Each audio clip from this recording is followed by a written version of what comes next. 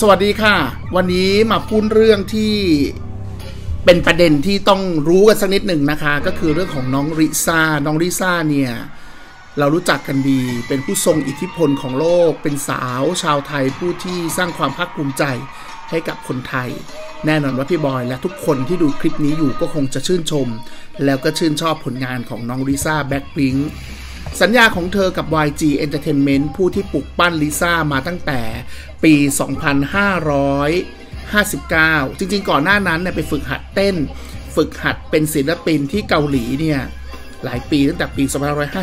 2555 กว่าจะดังเริ่มมีผลงานก็ 59 แล้วก็ไต่เต้ามีชื่อเสียง ตอนนี้นี่ถือว่าพีคที่สุดแล้วสำหรับลิซ่านะฮะแต่ปัญหาหรือว่ากระแสที่มันเกิดขึ้นขณะนี้ก็คือ น้องลิซ่าได้หมดสัญญาการเป็นศิลปินในสังกัด YG Entertainment ของเกาหลีใต้เนี่ยตั้งแต่สิงหาคมที่ผ่านมาก็คือประมาณ 1 เดือน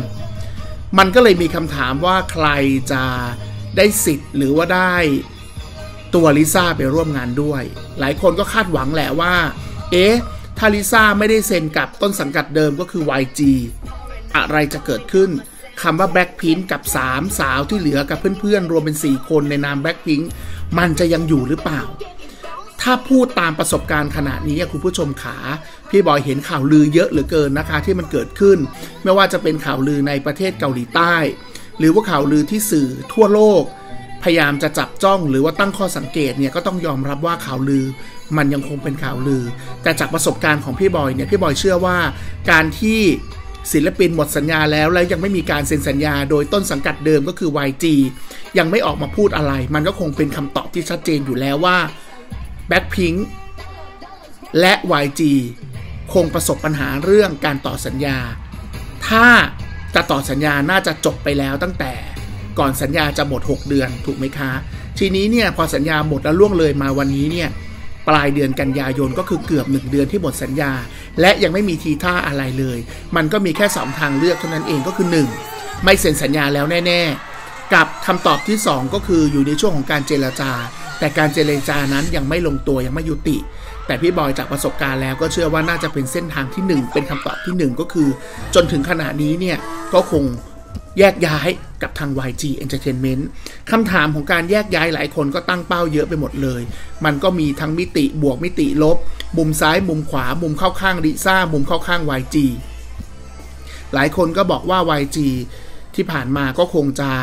เข้มงวด เข็ดเขี้ยวตามสไตล์เกาหลีกับการเซ็นสัญญา มันคงมีเงื่อนไขพอสมควรกับการที่จะไม่สามารถ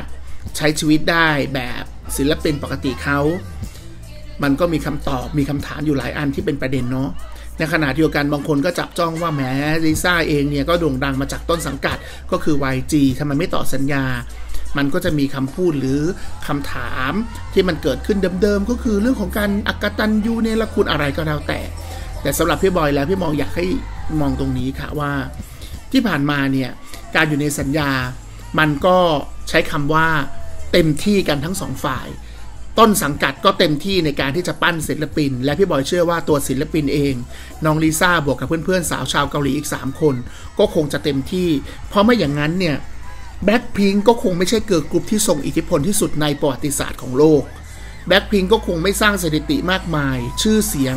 การเป็นศิลปินเกิร์ลกรุ๊ปในนามเกาหลี ก็คงไม่ได้อยู่กันแค่ในเกาหลี และก็ไม่ได้อยู่ในแค่เอเชียเท่านั้นขณะนี้คำว่าแบ็คพิงสี่สาว มันดังกระหึ่มไปทั่วโลกไกลจนถึงแอฟริกา หรือว่าอเมริกาใต้ซะด้วยซ้ำมันก็มีคำถามแหละว่าจากนี้มันเกิดอะไรขึ้น พี่บอยก็เชื่อว่าทุกก้าวจากนี้ไปลิซ่าก็จะกลายเป็นสปอตไลท์สอดส่องทุกค่ายระดับโลก ก็คงจะอยากได้น้องลิซ่าของเรานะคะ ใช้คำว่าของเราคือภูมิใจอะค่ะว่าเขาเป็นคนไทย น้องลิซ่าก็คงจะถูกเชื้อเชิญด้วยอะไรมากมายก็แล้วแต่นะคะว่า เออ อยากจะร่วมงานด้วย ล่าสุดพี่บอยไปดูข่าวเนาะก็จะมีข่าวลือ ที่บอกว่าค่ายเพลงระดับอินเตอร์ในอเมริกา ที่เคยปั้นศิลปินระดับโลกมาแล้ว ก็อยากจะชวนน้องลิซ่าไปร่วมงานด้วย แน่นอนใครๆก็อยากร่วมงานกับลิซ่าเดี๋ยวเรารอดูละกันแต่พี่บอยเชื่อว่า นี่คือจุดเปลี่ยนที่สำคัญของลิซ่าแล้วลิซ่าอยู่ในจุดที่เก่งสวยเลือกได้อาจใช้คำนี้แล้วกัน ถามว่าทำไมเป็นแบบนั้นก็เพราะว่าความสามารถเฉพาะตัวลีลาเฉพาะตัวศักยภาพเฉพาะตัวในตัวลิซ่าที่แสดงให้โลกนี้เห็นแล้วเนี่ย